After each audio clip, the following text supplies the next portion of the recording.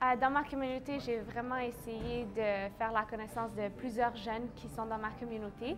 Donc, pour l'instant, j'habite en Nouvelle-Écosse, mais je viens aussi du Nouveau-Brunswick. Donc, c'est vraiment important pour moi de m'assurer que je rencontre le plus de jeunes possible à travers euh, des conférences ou encore à travers des tables rondes, parce que je veux vraiment m'assurer que je les représente bien euh, au sein du conseil.